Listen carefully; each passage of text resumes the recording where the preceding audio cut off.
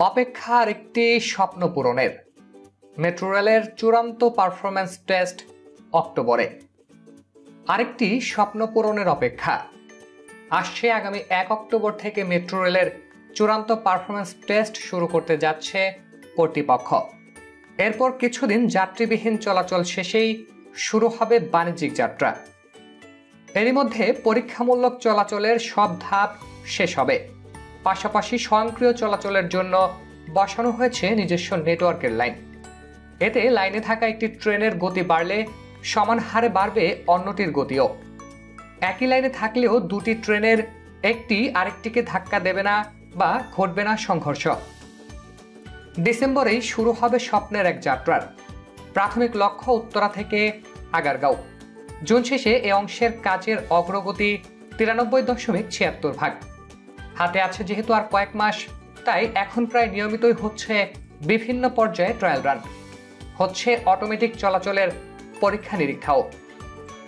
কর্তৃপক্ষ বলছে দুটি ট্রেনের সর্বনিম্ন দূরত্ব হবে দুইশো পঞ্চাশ মিটার, স্বয়ংক্রিয় চলাচলে একটির গতি বাড়লে আরেকটিও বাড়বে।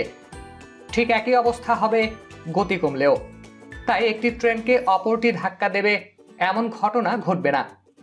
থাকবে না দুটি ট্রেনের সামনাসামনি সংঘর্ষের শঙ্কা আর এসবই নিয়ন্ত্রণ করবে অটোমেটিক প্রোটেকশন পদ্ধতি যা নিয়ন্ত্রণে বসানো হয়েছে নিজস্ব network system Dhaka mass transit company লিমিটেডের ব্যবস্থাপনা পরিচালক এম এন সিদ্দিক বলেন নেটওয়ার্ক স্থাপন করতে হবে।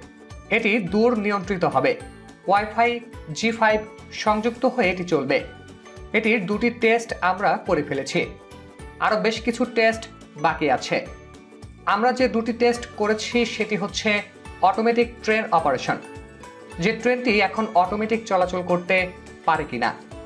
এই প্রক্রিয়া শেষে অক্টোবরের প্রথম দিনেই শুরু হচ্ছে ইন্টিগ্রেটেড টেস্ট মাসখানেকে পরীক্ষামূলক চলাচলের পরেই শুরু করা যাবে বাণিজ্যিক যাত্রা।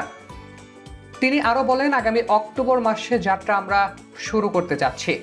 এটি হলো ইন্টিগ্রেটেড টেস্ট এটির পরে যাত্রী পারাপারের সেই রানটি আমরা করব। তারপর আমরা বাণিজ্যিক চলাচলের দিকে যাব। এছাড়া যে কোনো অনাকাঙ্ক্ষিত পরিস্থিতি এড়াতে থাকবে ম্যানুয়াল পদ্ধতিতে নিয়ন্ত্রণের ব্যবস্থা।